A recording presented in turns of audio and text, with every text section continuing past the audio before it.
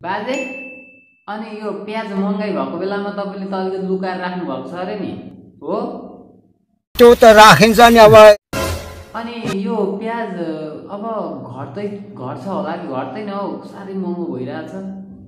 हुँदैन हुँदैन। कम हुँदैन झन् बढ्दै जान्छ। झन् बढ्दैछ अनि बहिनी तपाईँहरूकोमा प्याज के रोपेको छ अरे नि के तयार पो खानलाई? खाउँ न अलिकति यसो दिनु न हौ। साह्रै महँगो भयो कि? किन्न गाह्रो भइरहेछ क्या आज भोलि अलिकति चाहिएको थियो। पछाडि चाहिँ हुन्छ। अनि प्याज महँगो भइरहेछ होइन सब्जी खान सकिँदैन। अनि तपाईँहरूले सब्जी बनाउनु भएको भएन आज? आज दाल भात मात्रै। ढाँट्नु भएको होला है तर तपाईँले। मलाई त शङ्का लागिरहेछ। हेर्दा हेर्दा प्याजहरू टन्नै छ जस्तो लाग्छ तपाईँहरूको घरमा ढाँटेको त होइन नि। होइन मैले ढाँटेको होइन। आफू तेइस वर्षको भइसकेर पनि अहिलेसम्म केही छैन। ठिकै छ केही छैन। एकसट्ठी सडसट्ठीमा बिहे हुँदो रहेछ। म पनि त्यतिखेर नै गर्छु नि त। भर्खर जन्मे जस्तो लाग्दैछ क्या तपाईँहरूको बिहे गरेको देख्दा त। ठिकै छ। अनि सब्जी नै नखाँदा दाल भात मात्रै खाँदाखेरि अलिकति दुःख लागेको छैन तपाईँलाई? दुःख लागेको छैन। राम्रै चलिरहेछ आजसम्मलाई। अनि पहिलाको प्याज सस्तो हुँदाखेरि के फरक थियो अनि अहिले महँगो हुँदा कतिको फरक छ? धेरै फरक छ।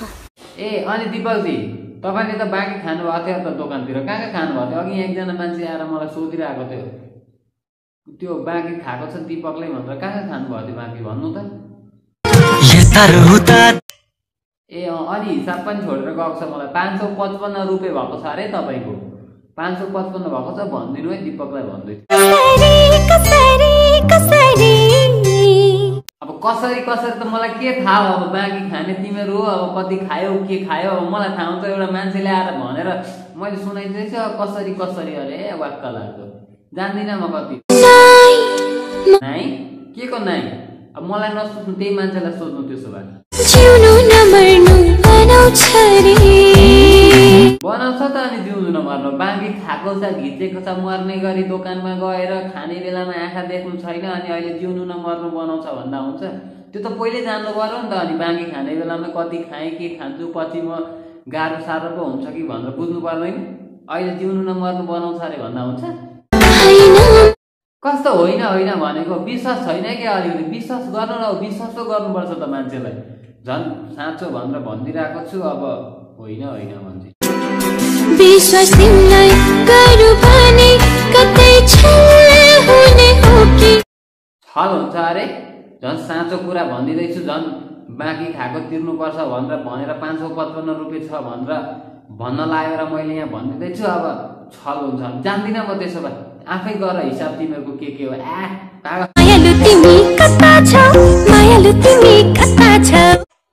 भिटेन भिटेन भिटेनको गीत सुन्नु कता छ थाहा हुन्छ। आउन अलि यता यता आउन यता यता यता तिम्रो लाउरे महु तिम्रो केटा। सुन्नु भयो नि कता रहेछ? भिटेनले भन नि हो त्यतै जानु अब। कता छौ कता छौ? मलाई थाहा हुन्छ अब भिटेनले भन त अनि उता केता केता भन्दा गीत सुनिहाल्नु होला त्यतै हो त्यतै धर्क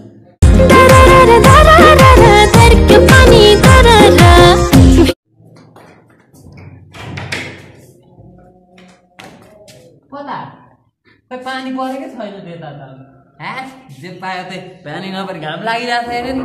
पानी पऱ्यो भनेर फोकटिया।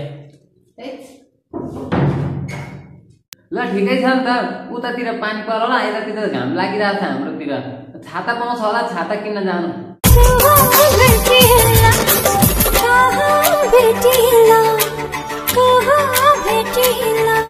कहाँ भेटिएला अरे छाता कहाँ भेटिन्छ? बजारतिर भेटिन्छ नि। बजारमा जानु न? बजारमा बेच्न राखिरहेको छ। मङ्गलबारे बजार जानु सोमबारे जानु आइतबार जानु त्यतातिर पाउँछ नि। मलाई कहाँ भेटेला भन्दा हुन्छ। र पनि मैले भनिदिइरहेको छु जानेको कुरा। त्यहाँ वरपर कतै घर छैन? त्यो घरतिर जानु ग्वाली होला कता कता त्यहाँ गएर पानी परुन्जेल बस्नु नि त अनि। त्यस्तो भिजेको भने अब। छाता पनि कहाँ भेटिएला अरे ओत लाग्ने ठाउँ पनि छैन।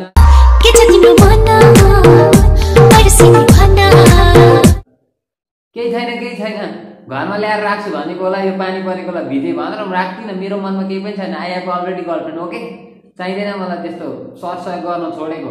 प्याजको भाउ कति महँगो छ? थाहा छ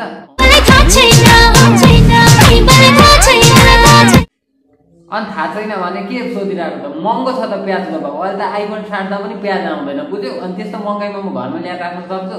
त छाता किनेर आऊ न त। छाता किन अनि त्यहाँबाट आफ्नो घर जाने? म त सक्दिनँ यहाँ ल्याएर राख्न। प्याजको भाउ यस्तो महँगो छ। ए दिक्क लाग्यो। ल्याङल्याङ मैले गरेको होइन नि। ल्याङल्याङ तिमीले गर्दैछौ। सरोजलाई रहिदिउँ साथै रहिदिउँ सरोजलाई लुएर आऊ सरोजलाई रह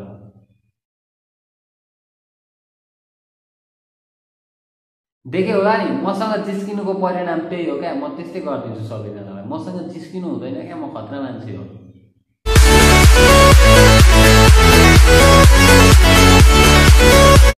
अरे सोनिकाजी के हो यार यस्तो? नेपाली भएर यस्तो साह्रो नगर्नु न यो त लुगा भएन अलिक राम्रो खालको ड्रेस लगाएर आउनु न।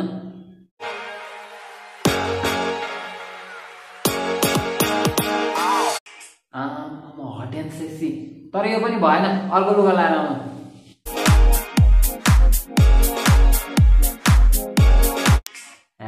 यो पनि भएन।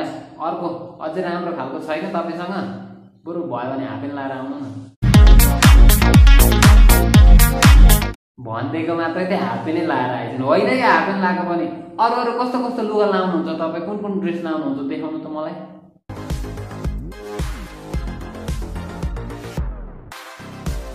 हो त्यस्तो ड्रेस पो लाउनुपर्छ त नेपाली भएर कति राम्रो देखियो त्यो चौबन्दी फरियामा हो त्यस्तो ड्रेस लाउनुपर्छ क्या।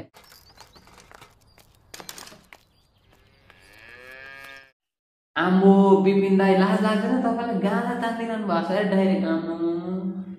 देखिरहेको छ नि त त्यहाँ ओह्रालो पुलिस ल्याएर देख्यो भने के भन्छन् भन्नु? ए चितवनमा घर भएपछि त्यो डर हुँदैन है। हामी नेपालीहरूलाई डर हुँदैन त्यसो भए। खत्तम हुनु भएछ ठिकै छ। तपाईँको असली औकात म ल्याइदिन्छु म पनि। हेर्नु अब तपाईँको असली औकात। सुधीर गोबर गनाइरहेछ गोठालो भएपछि गोबर चाहिँ गनाउँछ त। ब्रिटिस लाउरे हो र अत्तर बास्ना हुनाले। देख्नुभयो त चितवनमा घर छ मलाई के को डर छ भन्ने मान्छे कस्तो भयो? होला त हो त्यस्तै बनाइदिन्छु नि म। मसँग धेरै पहिले पो एक्सपिरियन्स थिएन। अहिले त एक्सपिरियन्स होला नि त। हो त्यसरी चेत्नुपर्छ नि त मान्छेले। अनि सिधै चितवनमा घर छ मलाई के को डर छ भन्दा हुन्छ त। हो त्यसरी म त खतरा मान्छे हो नि त्यस्तो बनाइदिन्छु नि म। कठै बिचरा। बिपिनजी